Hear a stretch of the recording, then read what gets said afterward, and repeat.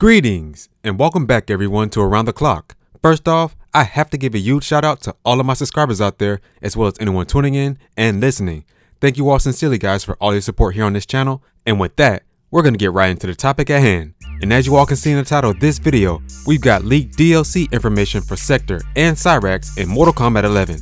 Alright everyone, there is a recent video made by Dynasty here on YouTube where he explained that he received new information, data mine information at that, of Sektor and Cyrax found in Mortal Kombat 11's files. Now, all this information included has intro dialogues, different gear, skins, move sets, and more guys. Now, this is very interesting because all these files for Sektor and Cyrax are on the same data mine sheets of Shao Kahn, and we all know that Shao Kahn is the very first DLC character in Mortal Kombat 11.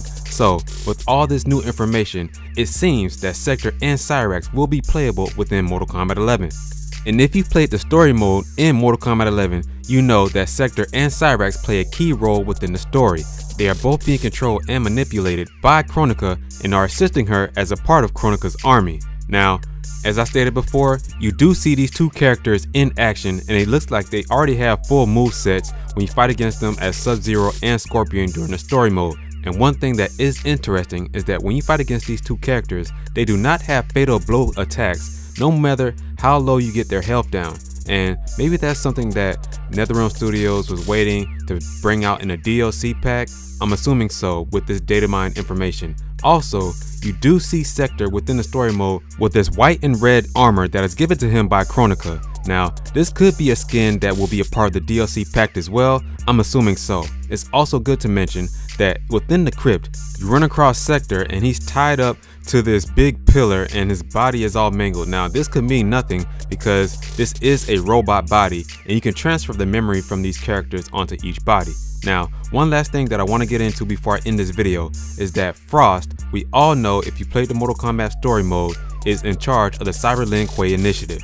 Frost herself has even been cybernetically enhanced to show her loyalty to Kronika and her views of world domination.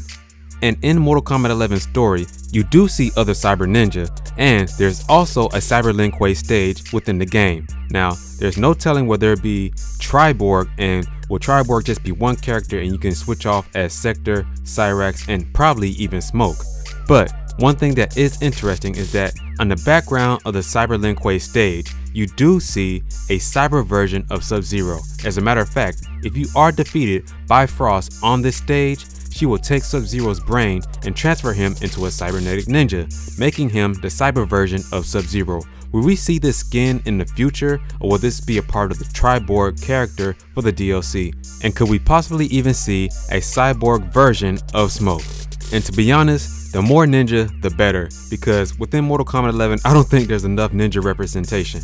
And I think it'll be real cool to see all these ninja that you see on the screen here. Scorpion, Sub-Zero, Reptile, Ermac, Rain, Smoke, and Noob Saibot all in the same game. That'll be fantastic guys. Of course, we do have to wait for the official word from NetherRealm Studios that these characters are official DLC, but it's good to speculate in the time being.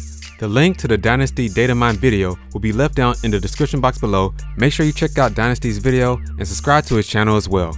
Alright everyone, that's going to do it for this video. What are your thoughts on this leaked DLC information and these facts on Sektor and Cyrax being a part of Mortal Kombat 11? Please let me know down in the comment section below. As well as, if you like this video, make sure to hit that like button. If you're not already subscribed, be sure to hit that subscribe button as well as the notification bell so that you don't miss out on new, daily Nintendo news content here at Around the Clock. We're here we focus on Nintendo gaming news around the clock. Catch you guys in the next one.